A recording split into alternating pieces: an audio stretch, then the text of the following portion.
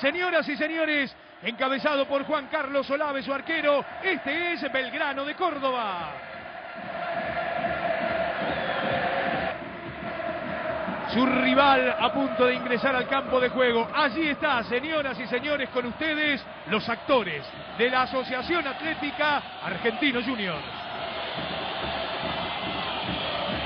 A punto de ponerse en marcha la decimocuarta fecha del torneo inicial del fútbol grande de la República Argentina. Guillermo Farré y César Carranza en la mitad de la cancha, señoras y señores, ya están jugando en Córdoba, Belgrano y Argentinos Juniors. Otra vez Vázquez para pegarle, centro de Vázquez, el rechazo a medias, venía quedando para Navarro el remate, Olave.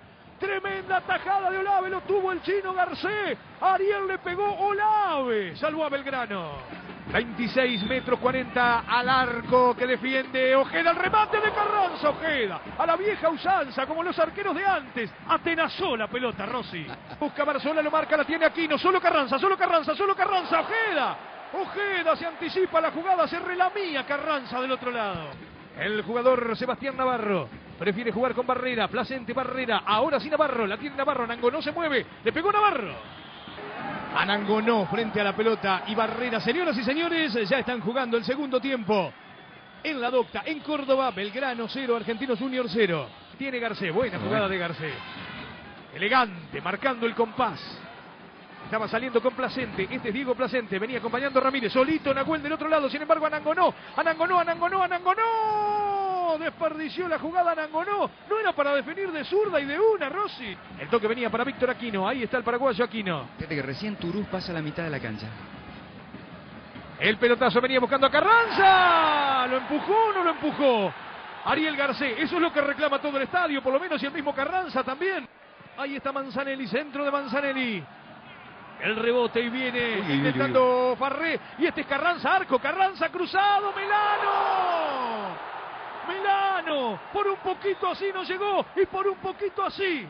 Belgrano no es puntero del campeonato. Buscaba Milano, corre Milano, Placente lo marca. Este es Manzanelli, centro de Manzanelli, entró para cabecear aquí, no gol. No, vale, no vale, no vale. Bandera arriba. Sí, sí, Posición adelantada, va a ir a reclamar Milano. Aquí no basta el asistente número 2, la gente le dice de todo.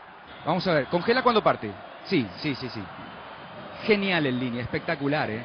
Porque es finísima, ¿eh? Hombro, hombro y cabeza están adelante.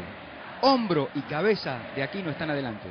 Hagan juego, señores. Le está pegando esa pelota el arquero Olave. La deja pasar Sabia. Quedó para Aquino. Aquino, Aquino, Aquino. Lo vienen tomando. Aquino, Aquino, Aquino, Aquino, Aquino. Toca al medio, Aquino querido. Ojeda. Estaba solo Melano. Estaba solo González.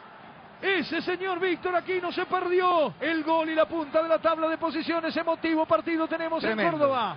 Allí van los piratas cordobeses. El centro con las manos busca González. El rebote sacando la pelota estaba Vázquez. Señoras y señores, no va más. Aquí en Córdoba, en el barrio Alberdi, los piratas y los bichos de la paternal al cabo de un partido intenso empataron 0 a 0.